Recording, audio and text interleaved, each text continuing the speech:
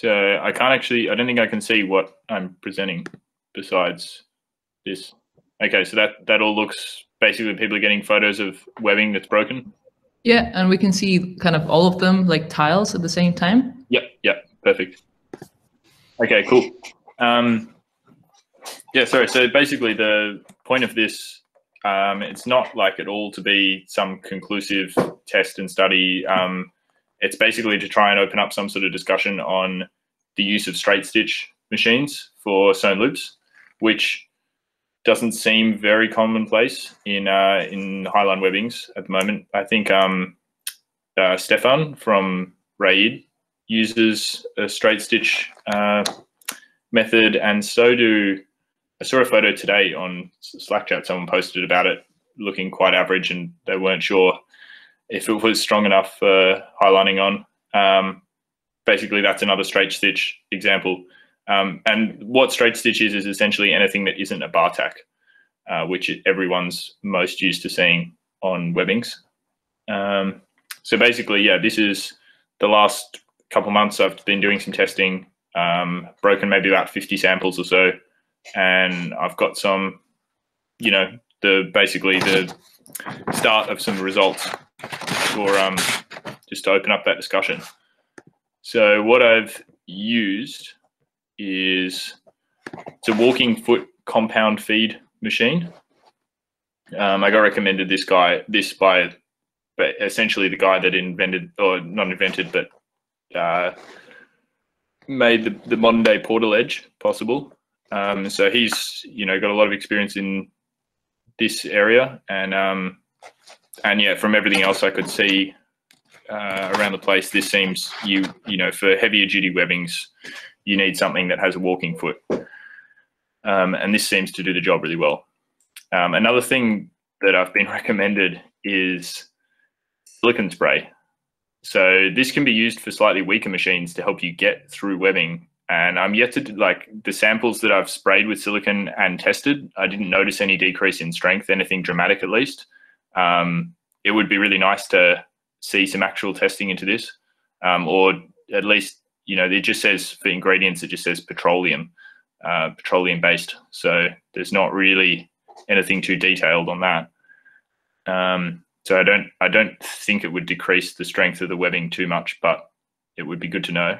Um, yeah, regardless, um, I did do some tests on a household machine uh, years ago as well, doing a uh, a bar tack, and essentially every like third or fourth, um, you know, row on the bar tack, the machine just shut down and broke because it couldn't handle the thickness of the webbing, and this was just getting through through two layers of Feather Pro. But um, I eventually got through about you know nine tacks and used those stitches, those loops for quite a few years, and broke them the other day and they got surprisingly really good results. Um, they were within about 85 to 90% the strength of this, a same sample of Feather Pro, just taken a meter further down the line.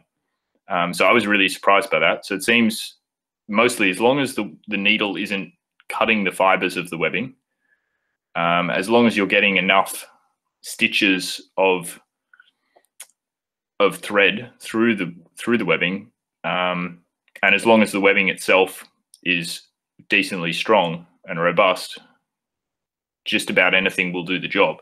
It's about it's um after that it depends on what pattern you use and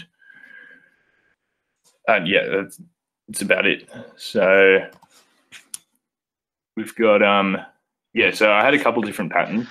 Which material are you using for the sewing itself?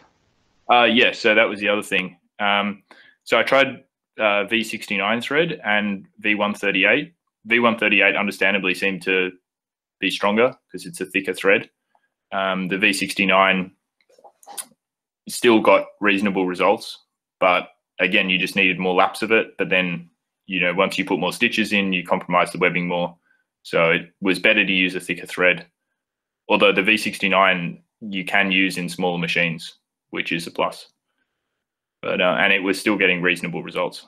Which material wise, for for everybody to understand, is this uh, polyamide or, or just polyester? It's polyamide uh, uh, or nylon. bonded nylon, uh, sorry, bonded polyester for the V138. Cool. Is that um, is that fur? Yeah, that's me. That's me. How are you doing? How's it going? So I feel like you're probably more qualified to do this talk than I am. But um, Uh no, really. Um, I was expecting to have Shane from Aspiring, which is the guy that actually do the suing, uh, not me. ah, okay. Um, he was going to be in, but I didn't receive any communication from him at the moment. Um, he was interested as well as, as just having a look. I know that depending of the webbing you are going to do the sewing, you wouldn't use polyester or Dyneema on a nylon or polyamide webbing, but you can always use the nylon or polyamide um, thread just to go on any type of webbing because of the stretch. But that's something I guess you already know. Um, Yeah, uh, yeah. You can you can keep going. I'm, I'm not going to interrupt anymore. It's just No, thank you for the answer. That's a good. That's um, something I found interesting as well because the V69 I was using was bonded nylon, and it still didn't make too much of a tangible difference on uh, nylon webbings. So basically, on nylon webbings, the- stretch of the thread wasn't uh, too important. It was more just that I couldn't get any high results unless it was a bar tack. Basically, um, I didn't test any bar tacks, but the results I could get the highest was about seventy five percent of the nylon webbing. So, which is quite the same than the bar tacks. Yeah. oh, okay, okay. I was under the impression the bar tacks were of a better result. A bit more sometimes, but not Yeah. much. So this is the pattern I used on the straight stitch, just trying to create three of these uh, really small kind of boxes, and that got the best result. I've got a photo of that being tested. Yeah, here. Which is what Stefan is doing um, on his webbing, right? Yeah, I think he's doing that, but he's he's making them a bit longer. Yeah. and, yeah. uh, and he's not doing a full box. He's just going diagonally once.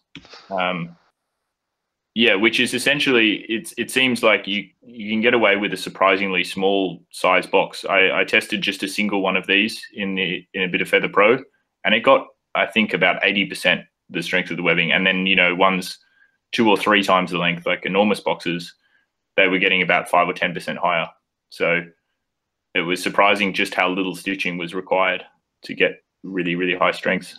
Um, but yeah, the, the bigger problem with the nylon was it just it just breaks this first bit of the webbing first, and then a little bit more, a little bit more yeah.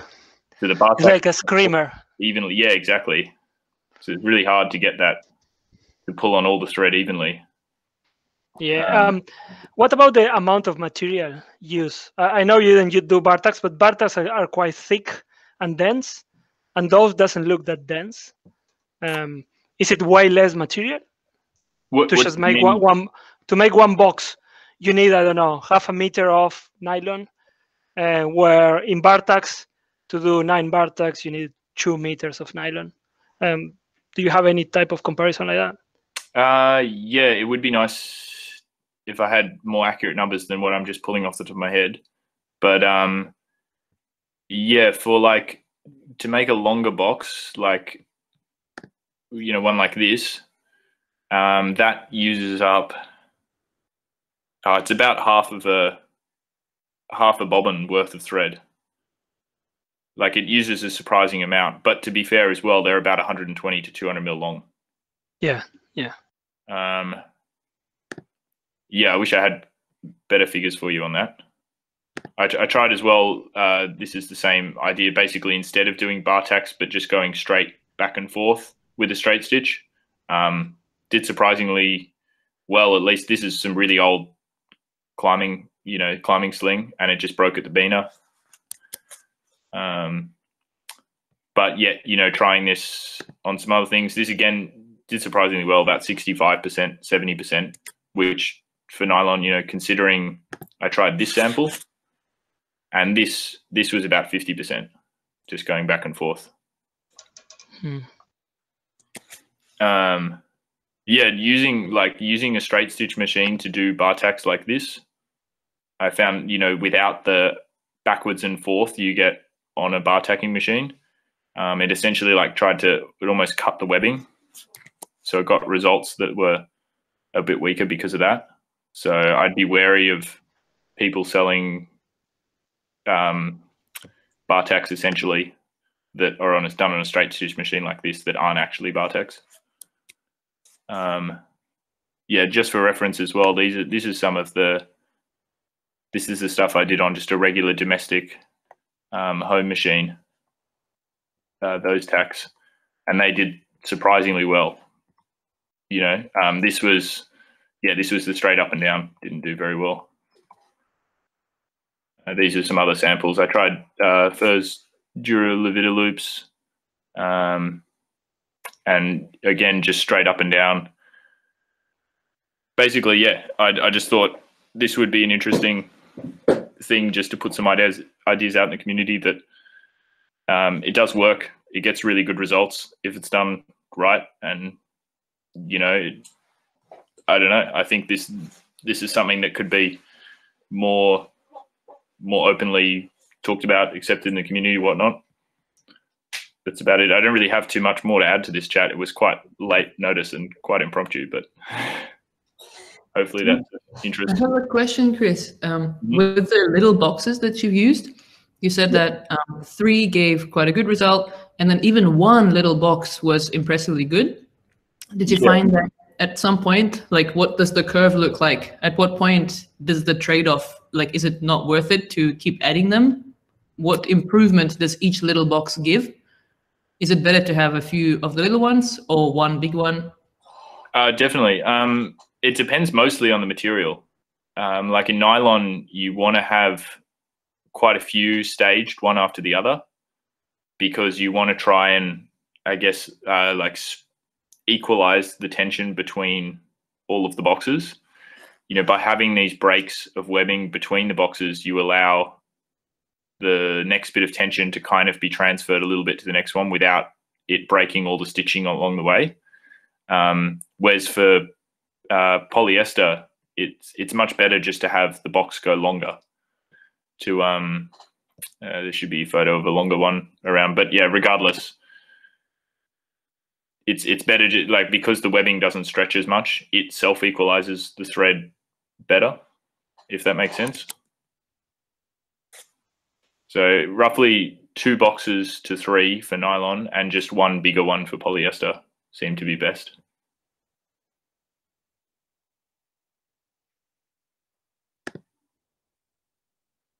As well, there's quite a few faults with this uh, testing, you know, like the travel distance on the machine wasn't very far. So, you know, I might get the sample up to about 20 kn and then have to reset it. Or like it's not 20 kn in this example, it was 20,000 psi. But um, yes, you have to continuously reset the thing and get it that little bit further, a little bit further. Um, so, you know, that definitely compromised the strength of some of the samples.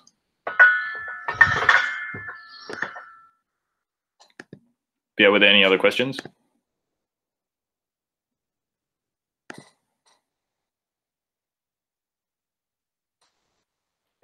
Oh, sorry. I just noticed there's the chat. No, yeah, cool. Well, I think if that's it, should we um should we move on to the next presentation? Next one is in like 15 minutes. So Oh wow, 15. But yeah, oh, yeah, look at that. I sped through that. it, it just takes people time to come up with questions. So don't feel like yeah, they yeah. don't have them. They're just thinking of how to ask something and not look silly. Yeah, yeah, no worries. Yeah. I um I did remember something else actually as well. Was um a theory as to why we have so many bar tacks, like why it's so pre- prevalent all over the climbing community and the highline community. Um, well, the highline community, obviously, because of the prevalence in the climbing community but why there? Um, and I talked to John, who who recommended the machine, who's uh, as I said before, basically the inventor of the Portaledge. Um, he said in the in the 80s and the 90s, they did a bunch of testing on bar tacks and other methods of stitching up their products together, and they said, well, he said that the bar tacks were chosen in the end because of their abrasion resistance. You know, I presume that's because if a single tack in the middle gets worn out, it doesn't compromise the rest of the stitching as much.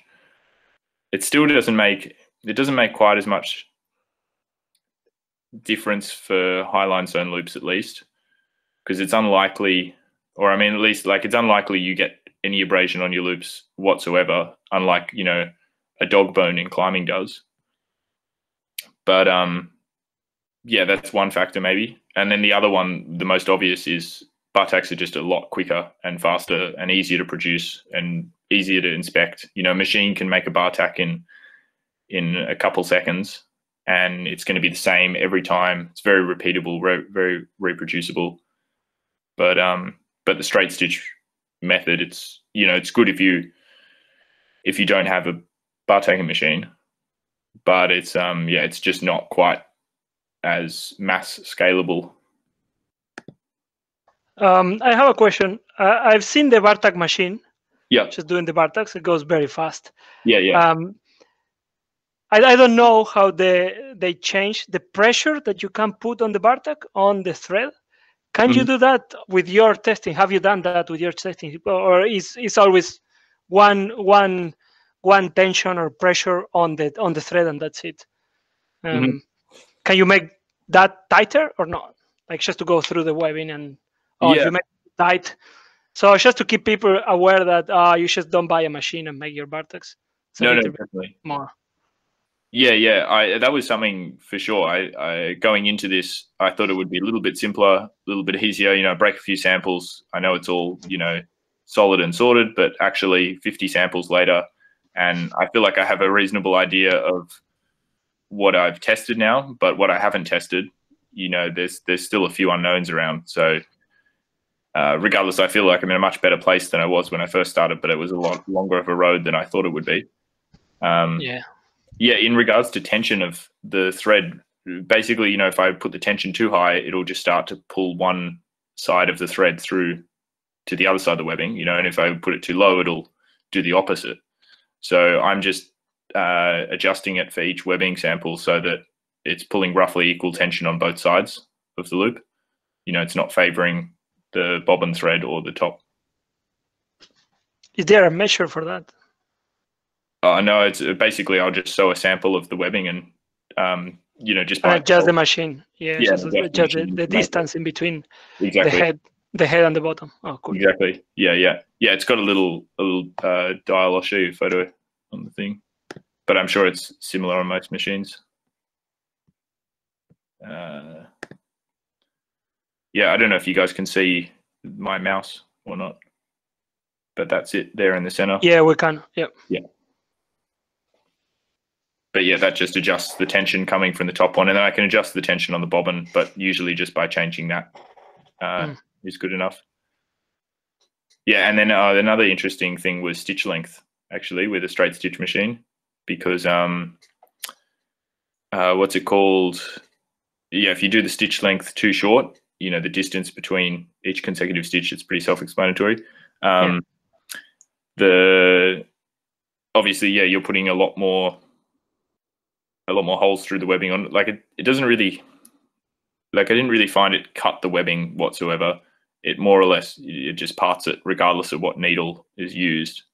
Um, but the yeah, the longer the stitch length was better for polyester webbings, you know, where the stretch is low and you're making the box a lot longer. Um, so something around seven mil was good for that. Whereas the uh, for the nylon and making smaller boxes somewhere around the five to six mil stitch length you know maybe yeah probably more like five mil stitch length seemed to work better yeah i think um sarah's asked as well if i have a table of stitching in their break tests. I do have a, a table made up which i can share to, to people but i don't think it's going to be that like it's it's not very it doesn't you know share anything too new or too groundbreaking at all. It's it's all pretty boring and mostly um a lot of abbreviations and you know things in there. It'll be difficult to understand for people who aren't me just because you know i've put down my own descriptions of what stitches i've used and that's a bit hard to do in words but i'll share it regardless to whoever wants to see it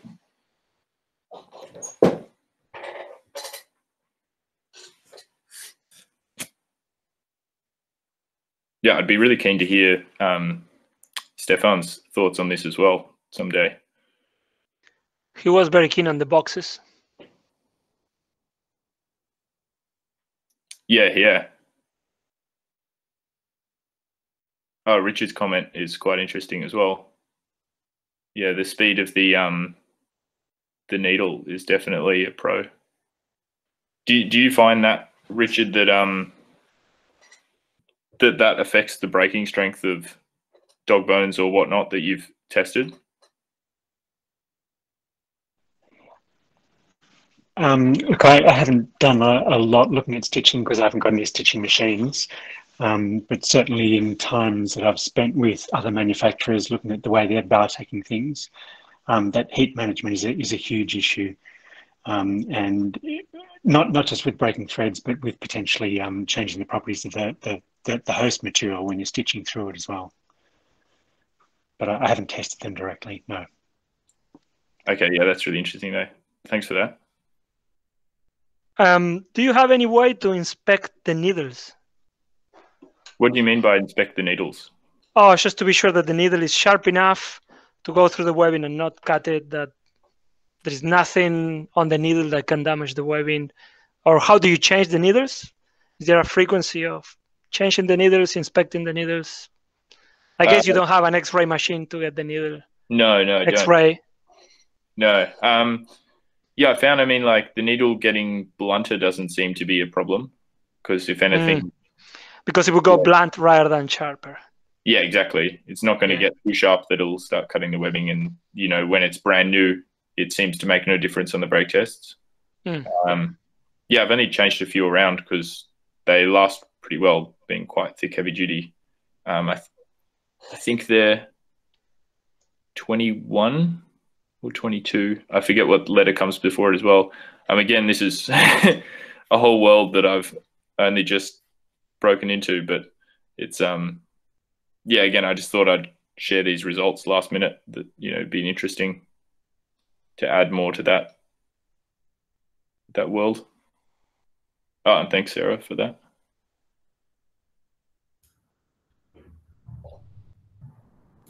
Yeah, um, in regards to the rounded needles and the blunt uh, the blunt end needles basically um, yeah i talked to the the guys i bought this machine off who you know they've got 10 20 years in the industry and repairing machines and whatnot. And they uh, they basically laughed me out the store when i said i wanted blunt needles to go through webbing. They said it's ridiculous. It's not possible. It's never going to work. Um, so i mean again i think they're experience with stitching webbing is not as it's nowhere near as as high as as it is on you know people who literally produce sewn loops for a living. Um, but regardless yeah i haven't seemed to to find any any dec- i haven't tested blunt needles yet to be honest but there doesn't seem to be a problem using the sharp ones either yeah, in in regards to Lorenzo's comment as well, uh, he says basically stitching parallel to the line should be better than perpendicular like a bar tack, which you know makes sense intuitively. Um, and I definitely found that on weaker samples as well. I test a lot of um, I tested a lot of 11 kN Bunnings webbing just to begin with to to have a look at a whole bunch of different um, different patterns and I was getting 100% on those samples by the end, always just doing in parallel. Um, yeah, by doing bar tacks on them on weaker, it was polyester as well, but on weaker webbing, it essentially just cut them and it always broke at that first tack. Um, and I assumed that would follow through to the heavier duty, you know, higher strength webbings, which it for the most part did. who is the one person making a living off loops but doesn't want to comment? They don't have to comment, but we can still get to know their name. Oh, I'm not sure I've met them before. Oh, and uh, thanks for that, Richard, as well. That's um, yeah, I'll flick you an email. That sounds great.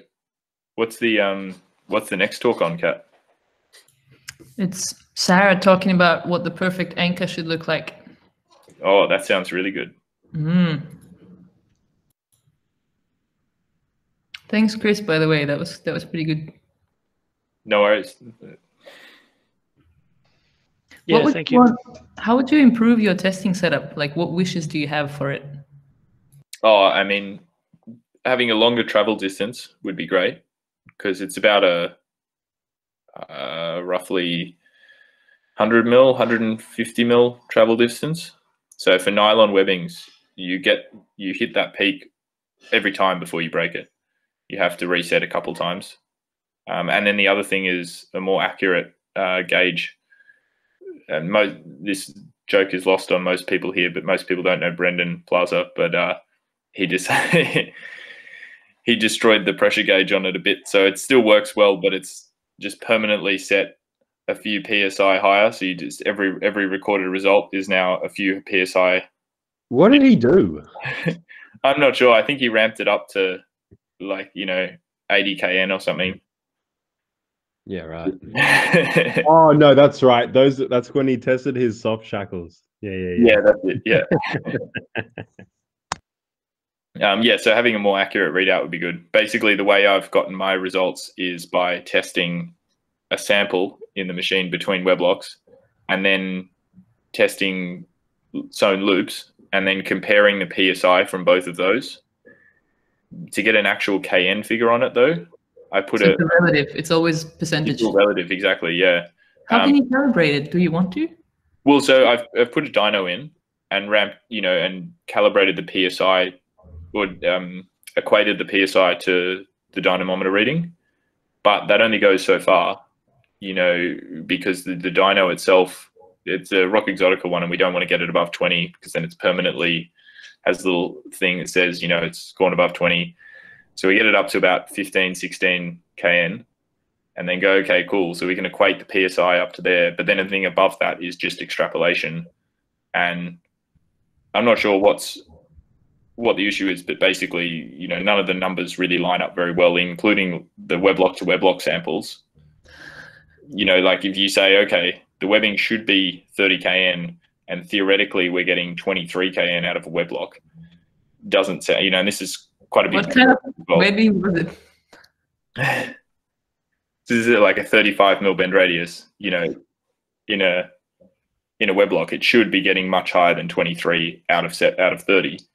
Um, so there's just something off between the uh, the equation there, equating the kn to the the psi.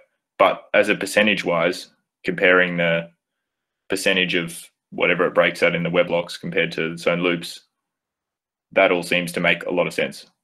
And that all equates well to other testing done out there.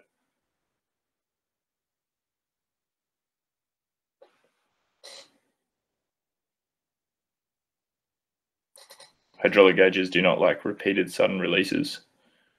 Yeah, it's, it's probably what's done it for this one then.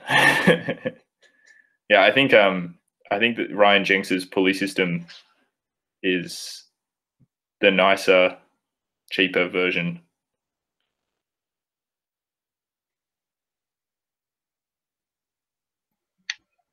Hey Chris, Naveen I had a question.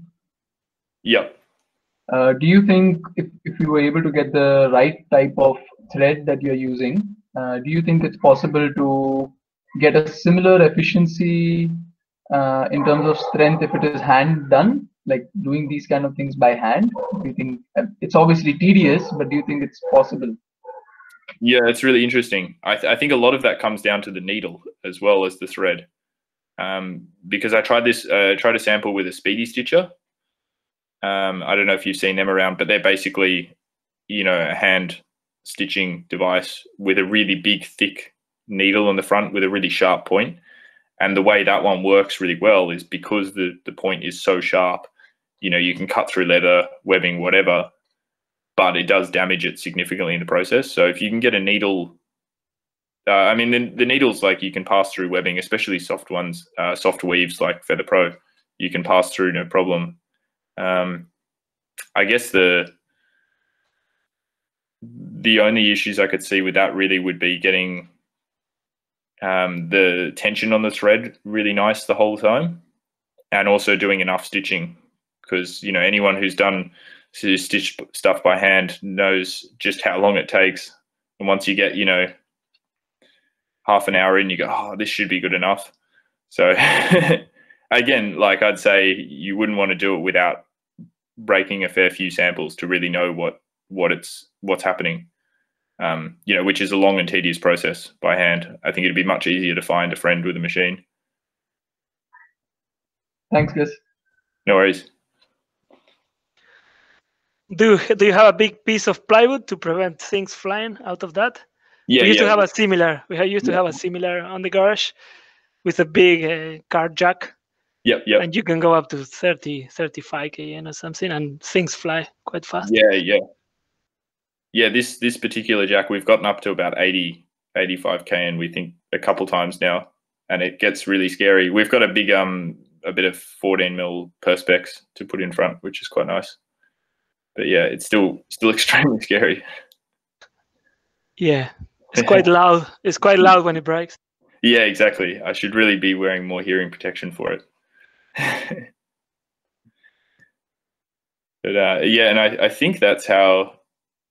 Well, I'd, I'd suspect that's how many manufacturers would test their webbing, Richard. But I I think a few just put it in um, either their highest efficiency weblock or you know custom made weblock of about 100 mil diameter, but they don't necessarily wrap it in an endless hitch. It, you know, it's um. I think the ISA standards on that. I'm not sure what they say, but when there's because there's now a testing like a, a te- uh, what's it called? The whale, The what? isn't it? The whale, isn't it? The whale, the big line locker, Who who uses that? ISA, isn't it? Oh, okay. Uh, is that what they use for their samples? Uh, my understanding is that yeah, that's a very big. Okay, okay. So it's, yeah, it's not an endless hitch. It is just a big line locker. Yeah. Okay, interesting. Yeah, yeah. Uh, we do have here one of those, maybe bowler, uh, as Richard is saying. Yeah. Uh, which you just wrap it around and try to make it a couple of rounds and then go in. Yeah, yeah. Definitely, the smaller diverter on the weblock is a totally different thing. Yeah, exactly. Yeah, you'd almost think that's how the ISA should be doing their standards, given that's how it's most likely to be used. Yeah, well, that's a big discussion, right? Ah, uh, Oh, yeah. Walter Wa- Walter Siever is showing it, showing the way. Yeah, yeah, yeah. Okay, so that's the that's the one for the independent. Yeah, that's the one. That's- Yeah, yeah, That looks super lightweight. yeah. Walter. You don't want that to be flying around, eh?